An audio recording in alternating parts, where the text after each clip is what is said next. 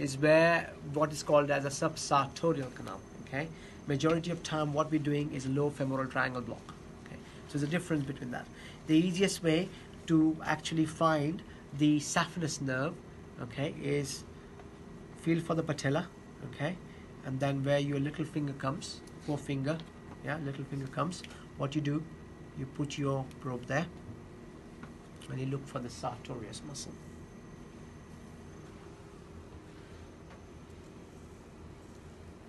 Medially, or medially. Sartorius, okay? And now we look for the saphenous nerve underneath the sartorius.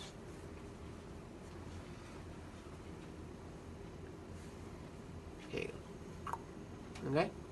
It's the it's it's very much jumps out at you, and that's actually a true saphenous nerve block, suprapatellar. Okay? Just saphenous. You're not doing anything else. Okay?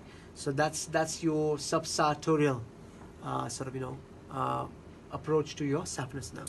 The other way to do it, you go mid thigh level. Okay, now we increase the depth, and you look for superficial femoral artery pulsations. Top bit is your sartorius muscle.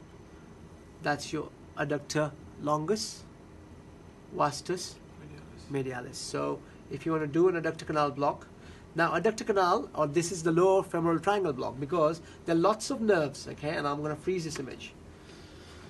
Superficial femoral artery, underneath this sartorius muscle, there is a subsartorial plexus. The plexus is made by anterior and posterior part of the obturator nerves, okay. Then you've got your nerve to vastus medialis, okay, right. Then you've got saphenous there as well, okay. And your aim, if you want to do this block, this is a field block. You want to bring the needle in and you want to puncture what they call this as a vaso vastoadductor membrane, which is on the top of the artery. So once you puncture the membrane, the postulators, it will spread underneath the sartorius muscle. It will get you nerve to vastus medialis. It will get you your saphenous nerve. Okay, and we also get possibly the obturator branches of the of the articular branches of the obturator nerve as well. Okay, so that's your adduct, uh, the low femoral triangle block rather than an adductor canal block.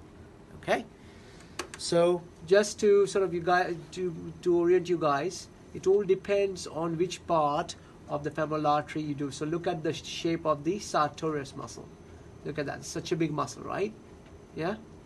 So if you keep going down, keep going down, and look at the shape of the sartorius muscle now. So it's when the artery goes underneath the sartorius muscle, that's too high. Okay? So that's your higher femoral triangle. When the artery goes underneath and goes away from the sartorius muscle, and that's actually at the mid thigh level. So that's sartorius muscle moving medially, your artery is moving laterally. And this is this is the area where you could actually do it at the mid thigh level, and that will get all your nerves. That will get that nerve, that nerve, that nerve. Okay? and you'll get your subsartorial plexus as well. Okay, so that's your low femoral triangle.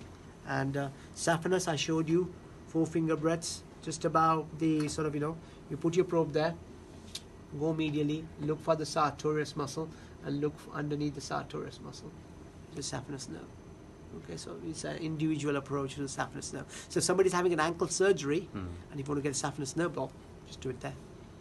Okay, all right. It's so very lateral. It's very medial. isn't yeah, it? very medial. Yeah, So because that's the disadvantage of using